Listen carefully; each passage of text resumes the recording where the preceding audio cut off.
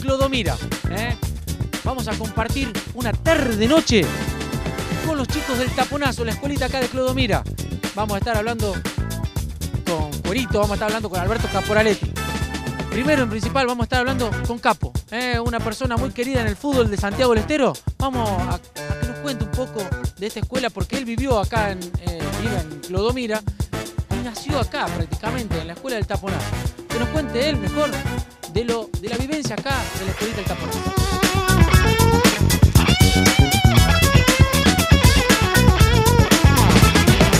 Bueno, estamos, bueno, nombre y escuelita, eh, hombre de fútbol. Sí, al- eh, mi nombre es Alberto Caporaletti y la escuelita de fútbol es del barrio Taponazo.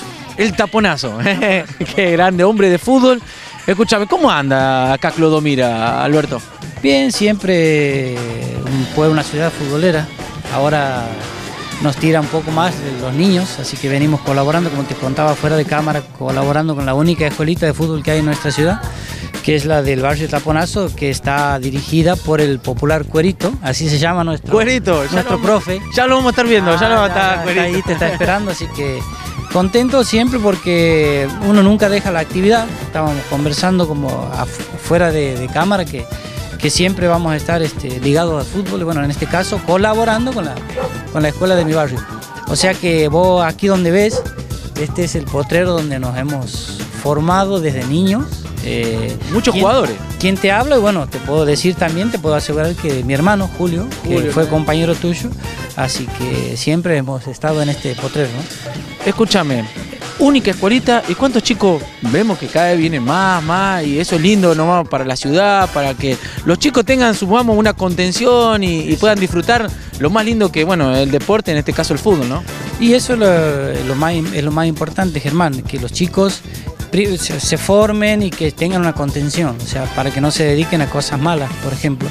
Y nosotros aquí tenemos, la escuelita de Taponazo tiene alrededor de 80 chicos. 80 chicos. Hoy estamos pocos porque ayer te contaba, como te contaba ayer, este, ha habido un campeonato, hubo más o menos aproximadamente entre 150 niños eh, que han participado del evento deportivo del- de la escuela de, de Taponazo, que te voy a contar.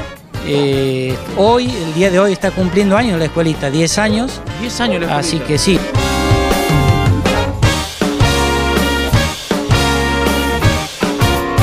Los padres veo que se acercan también. Sí, eh, los padres siempre están, están colaborando.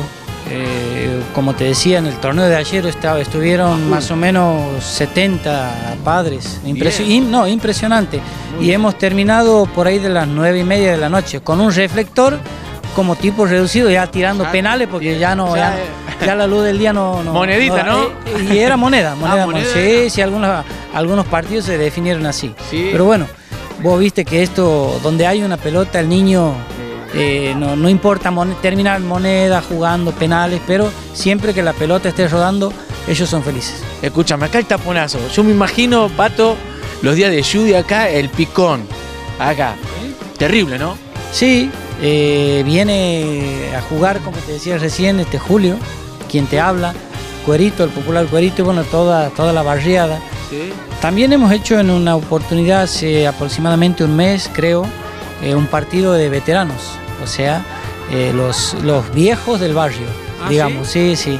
Así que todo. ¿Vos estabas para los jóvenes o para los viejos? No, para los viejos. Ah, sonamos. Ya no, o sea, ya pasamos los 40, estamos ¿eh? pa- pasando varias etapas, pero Sí. bueno. eh, la cuestión es, como te decía recién, jugar, jugar. Lo que interesa es jugar.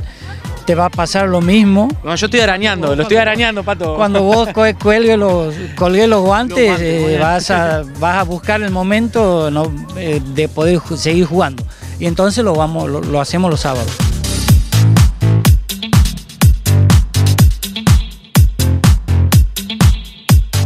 Vos, eh, después que dejaste de jugar, ¿cómo fue el agarrar a los chicos? Después sabés que estuviste en Central Córdoba, Sí. estuviste en Villunión, en Clodomira, en un montón de clubes, pero ¿cómo fue ese, ese paso? Sí, si te digo por dónde han, por dónde he andado, no me voy a acordar. O sea, pero y siempre- también, mirá, me voy Por eso no, me estás haciendo acordar vos, recordar vos, pero yo no me acuerdo. Pero sí, los primeros pasos siempre se hacen con los niños. Eh, y bueno, eso es lo que nunca vamos a dejar de, de- de hacer, o sea, de- en este momento de colaborar. Porque ya pasamos esa etapa como que los chicos por ahí te llenan la cabeza, te saturan un poco. Ya está, ya Pero bueno, pasaste ya- ya pasé, ya después dirigí más grandes, entonces ya te ya es más calmo el trabajo, entonces te acostumbras a eso y uno ya cuando va quemando etapas ya quiere un poco más de tranquilidad. Pero como te decía recién, no deja uno de estar siempre metido metido en esto, colaborando con, el barrio, colaborando no únicamente con el barrio, vamos a ver la, eh, la, oportunidad de poder crear algunas otras escuelas. está en proyecto, no, no, está en proyecto y bueno, vamos a, tratar de, hacerlo porque chicos hay de sobra. Entonces... Eh, Falta mano de obra. Exactamente, no, no es, o sea, una, una sola escuelita de fútbol no va en Mira, somos alrededor de 20.000 habitantes, así que imagínate vos, una escuelita no va a albergar a, todos. Entonces hay que tener contención por todos los barrios, hay que buscar lograr eso.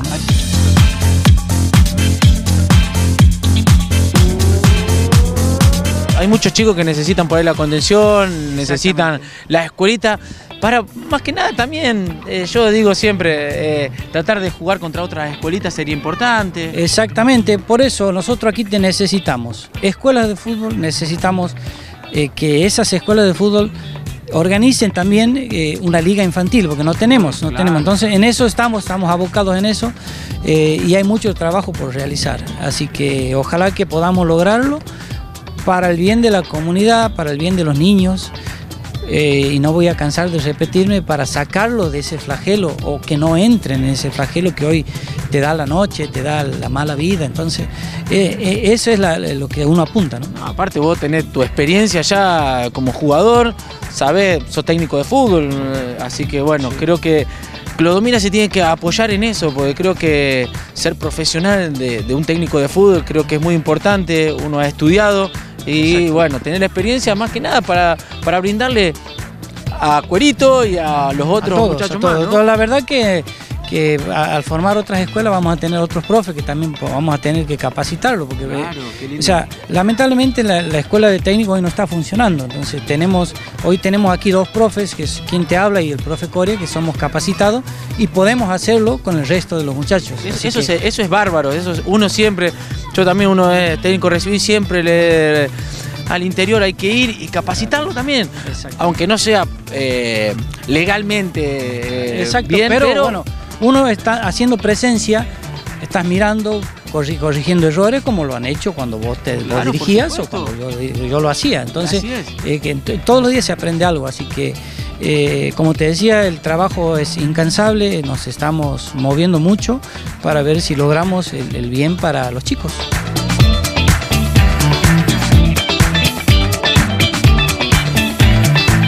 Apoyo acá Sí, no, el apoyo está, o sea, el apoyo que necesita la escuela de fútbol es el apoyo provincial, gubernamental, que lo tenemos. Eso es eh, incondicional, lo estamos teniendo la subsecretaría de Deportes. Eh, el municipio también colabora con la gente, con todo, con el deporte, en este caso con nuestra, con nuestra escuelita del barrio. Y bueno, el apoyo que vos más necesitas es el de los papás. Que como te decía recién, es incondicional el apoyo que tenemos de los papás que sin ellos no se va a hacer nada. Entonces, la educación tiene que ir de la mano. Exactamente. Entonces, eh, aparte, vos sabes que esto en el fútbol es una parte de la educación. Aquí no es solamente correr por detrás de, la redonda. Entonces se lo educa al niño y es una parte de la educación. Así que contamos con los padres, mucho apoyo de los padres y eso es fundamental. Bueno, vemos que los chicos están esperando ahí. ¿Cómo andan para los penales los muchachos? hoy, estoy liquidado, Pato. Y me, Penales, bueno, vamos a ver, vamos a ver, vamos a ver. Si va a atajar vos, vamos a ver qué pasa. No, pero no va a atajar. Es bueno, es bueno porque los arquitos son chicos, pato. Eso me gusta, eso me gusta. Ya, un par de movimientos nomás. Bueno, vamos a ver qué pasa. Eh, los chicos para regalar. Y en el entrenamiento. Y sí, pero, me, tienen que hacer los goles para regalar. Bueno, no hay problema. Eh, déjame eh, la oportunidad este, darte las gracias a vos, a tu colaborador, al canal, porque se han llegado a, a, este, a esta parte de la ciudad de Clodomira, donde creo que es la primera vez que traemos, logramos traer este, las cámaras para que filmen en un entrenamiento, un, mini torneo, digamos, de, la escuelita de Taponazo, donde se han reunido otras, otros barrios. Así que bueno, darte las gracias por las pelotas, las donaciones que vos no, nos haces. tranquilo, pero... Y seguramente te vamos a tener otro día más por acá. Pero por supuesto, el próximo es con comida incluida, ¿no? Ah, sí. Todo el día venimos temprano. Vamos a ver si cocinamos algo. Invita, si invitamos algo. Che, no, pero bueno, primero uno, uno no, no hay que nada que agradecer porque uno lo hace con pasión, me gusta, me gusta venir al interior, hemos ya con Patito, ¿cuánto recorrimos Patito? Te comiste todos los roquetes en Loreto, te, te comiste todos los roquetes en Loreto, te fuiste a Arra, te comiste la, la tortilla, todo no, bueno. no, pero bueno, lo importante es que uno, uno va, ¿me entendés? Y lo, lo lindo es que del interior es esto, que uno, como vos, vos ya estás más ducho por ahí con la cámara, todo, pero los chicos por ahí, le, Sí, ¿viste? son- son no, más... Lo, lo- lo estuvimos este, adiestrando un poquito antes que llegaste vos para Ah, ver ¿sí? si que Sí. no que no, no, no corran a las cámaras. De- decirle, decirle que no soy eh, el pollo viñolo ni Diego Latorre. Ah, no, pero fíjate vos que los chicos te eh, me, me preguntaban si venía Germán, así que ya te conocen. Ah, ya te- ya conocen, che, ya Pato, te conocen. Así que arquero no, arquero siempre fue buen arquero y va a seguir siendo buen arquero, así que eso no, hay duda. Bueno, pero escuchá, estamos arañando los 40. eh, estamos como Pedro Catalano ya. Está joven, ¿qué podría decir yo? No, pero ¿Eh? Capo, mirá vos, está bien, ya, mirá la, la figura que tiene Capo. Mirá, Capo, boludo, está más flaco que yo, boludo. Para volver a jugar. Mañana, No, mañana me Escuchá, toca. escuchá. Posición de Caporaletti en los veteranos. Centro delantero. Ah, sigue de 9 de área. sí, no, ah, no muevo. Yo No. dije, viste, por ahí el 9 ya empieza a jugar de Es 2. que yo soy útil ahí, no Ah. sé, no, del otro lado Ah, no. ¿viste? Pues no, por ahí el no, 9, viste, que no. empiezan a retroceder mitad de cancha y ya están al lado del arquero. Claro, no, no. Vos no. A mí mis compañeros me ven útil ahí. ¿Vos tiraste el no, ancla ahí? El otro lado no. Vos tiraste el Sí, ancla ahí. ahí estoy queda. parado, Ah, parado, eh, parado. ¿Sí?